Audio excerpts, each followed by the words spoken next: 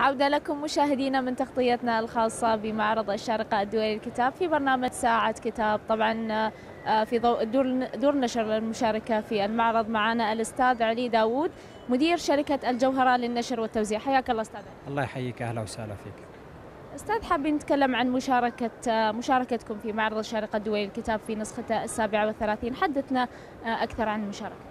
بادئ ذي بدء. نتوجه بالشكر الجزيل لسمو الشيخ سلطان بن محمد القاسمي لرعايته الكريمة الأكبر تظاهرة الثقافية في العالم العربي وهي معرض الشارقة للكتاب. شركة الجوهرة لخدمات نشر الكتب في دولة الإمارات العربية المتحدة تبدأ عامها الثاني بأول مشاركة لها في معرض الشارقة للكتاب من خلال إصدارات جديدة متنوعة ومختلفة في كافة المجالات. لدينا إصدارات لكتاب إماراتيين وكتاب عرب من مختلف الجنسيات. كما نقوم أيضا بترجمة العديد من الكتب من اللغات الأجنبية وجاري تجهيزها للمعارض القادمة إن شاء الله. علاوة على ذلك لدينا العديد من كتب الأطفال التي تدعم وتكرس للهوية الوطنية الإماراتية. أستاذ شو هي أحدث الإصدارات اللي شاركت فيها الدار بهذه النسخة؟ لدينا أحدث الإصدارات كتاب المرأة الإماراتية والقانون للكاتبة عائشة المحياس وهي دراسة اجتماعية لقانون الأحوال الشخصية. الهدف منها هو استشراف للمستقبل المرأة في دولة الإمارات العربية المتحدة.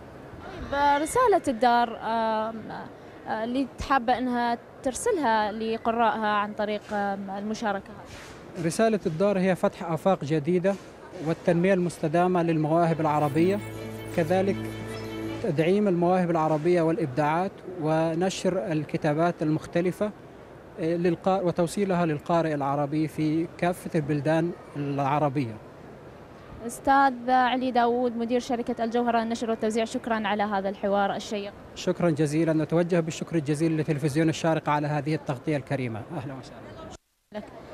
أيضا في ضوء الإطلاقات والإصدارات اللي موجودة في دار الجوهرة للنشر والتوزيع معنا الأستاذة عاشا المحياس كاتبة ومؤلفة إماراتية. طبعا أصدر لها هي لها أربع مؤلفات ولكن أصدر لها كتابين في النسخة السابعة والثلاثين من معرض الشارقة الدولي الكتاب. كتاب المرأة الإماراتية والقانون والرمل والسور وهو عبارة عن قصص قصيرة واقعية. حياك الله أستاذة عاشا.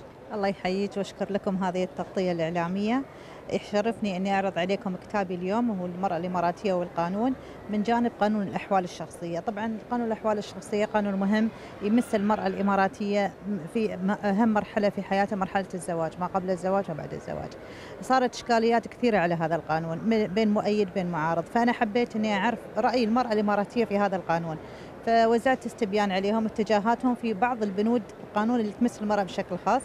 لاحظت أن التوعية أو الوعي بالقانون ما زال ضعيف لدى المرأة الإماراتية. دولة الإمارات العربية المتحدة دورة دولة تمكين المرأة مكنت المرأة في جوانب كثيرة من الحياة. لكن مع ذلك ما زال القوانين التي خلقت لها ما زالت ضعيفة فيها ووعيها فيها. فهذا الكتاب إن شاء الله يناقش هاي الأمور من جانب رأي عام أو رأيهم إن شاء الله. مع بعض التوصيات طبعا.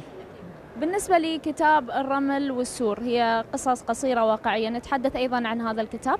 إي نعم. قصص الرمل والسور هي طبعا قصص واقعية لها تأثير كبير في حياتي. تتكون تقريبا من ثمان قصص. كل قصة هي عبارة عن شخصيات معينة. في عن ذوي الهمم في عن المرأة المطلقة في عن المرأة الناجحة فلها كان لها تأثير كبير في حياتي فحبيت أنشرها للجميع وتكون لها عبرة وفائدة إن شاء الله. كتبك أو إصداراتك هذه تستهدف أي فئة من المجتمع كفئة عمرية؟ طبعا نتكلم عن المرأة الناضجة. يمكن نقول إحنا من مرحلة العمر 15 لطويل العمر. والقصص طبعا قصص كل واحد ممكن يقراها حتى اليافعين ممكن يفهمونها. تتكلم على مرحلة جميلة مرحلة الشارقة. في السبعينات كيف كيف شكلها وكيف كنا إحنا عايشين هيك المرحلة. فممكن تنفع جميع الأعمار إن شاء الله. أكيد طبعا. أستاذة مشاركتك أنت أو إصدارك في إصداراتك في معرض الشارقة الدولي الكتاب أهمية وجودك في هذا المحفل الثقافي الضخم في إمارة الشارقة. البارحة أنا وقعت كتابي في ركن التواقيع فكان له أثر كبير بحياتي لأن أنا من مرحلة الابتدائية أزور هالمعرض فكان لي السعادة الكبرى أمس أني أنا أوقع كتابي في هذا المعرض. فكان لي دور جديد في هذا المعرض. بالعكس كان أثر كبير ومعرض الشارقة للكتاب من أجمل المعارض من أفضل المعارض طبعا في الوطن العربي. سريعا نتحدث عن إصداراتك الباقية. هذه اثنين من الإصدارات ال- من أصل أربع إصدارات ما يعني ألفتيها. نتحدث عن البقية.